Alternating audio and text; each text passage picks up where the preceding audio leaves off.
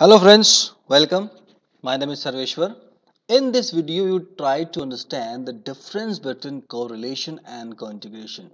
These two things are, you know, friends, generally confuses us. How? Whenever we say the series are cointegrated or we say the series are correlated, we say like we think like we are saying the same thing, but they are different.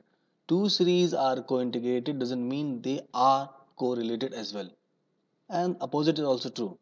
Based on co-integration properties of two series, we cannot say anything about correlation. So this is something I want to say friends. These two things, these two techniques are completely different. Now, uh, in this blog, I have shown the differences. I would try to explain them. You can go and see also on my blog also.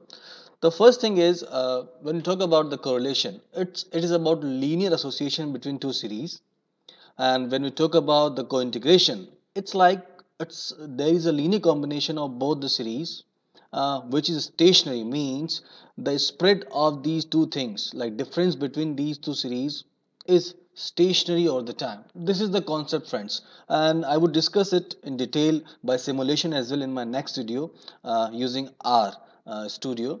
So here are some simple differences which can be used to differentiate between these concepts. The first one is number of time series. When we talk about the correlation, it is always only two variables we can analyze to see their correlation or not.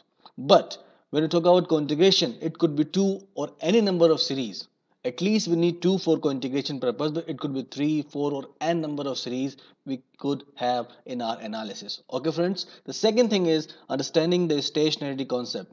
When you talk about the stationarity means the mean variance covariance is stationary all the time. Okay friends? So in order to analyze this uh, co uh, correlation thing we don't need to understand this concept. But in order to examine the co-integration property between two or more series. We need to have the series those are having the similar uh, integration properties. All of them should be i1 like this. Uh, i don't want to go in detail but we need to understand that concept as well. Third thing is uh, how can we measure it? The co-integration cannot be measured actually. We can say are they co-integrated or not we cannot say the range like the correlation. It varies from minus 1 to positive 1 there is certain boundaries. It cannot go beyond positive 1 it cannot be like less than minus 1 there is a range for uh, correlation. It could be positive it could be negative. But it's not like cointegration cointegration says there is certain linear combination which is stationary over the time. That's all Fourth thing is horizon, the period of our interest. When we say about correlation, it could be short term, it could be for long term. But cointegration is something that is used for long run only.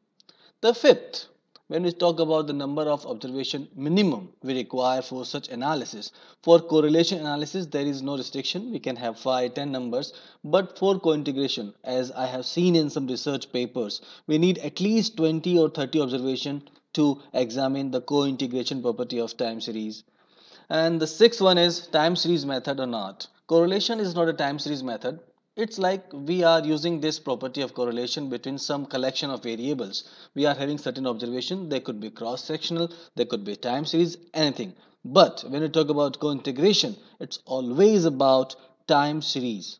We need to have two or more time series to examine the co-integration between them. And the last but not the least level of analysis. When we talk about the financial series friends we talk about the correlation between the prices. Uh, sorry the returns of the uh, prices not prices. Uh, suppose we are having the prices of spot and futures market. We don't talk about the correlation between the prices at level. We talk about their first differences. Those are returns what is the correlation between them? But when you talk about r spot and futures prices co-integrated or not for that purpose we need to understand this property at level at prices log prices uh, but not their returns. Okay friends? So these are the main differences uh, between uh, co-integrated or correlation property of uh, two time series. They seem similar but they are not actually. They are completely different things. Okay friends? So this is my try in next video i would show how to differentiate and how to generate co-integrated series or how can we uh, learn the nuances of these things. Thanks, friends. Keep watching.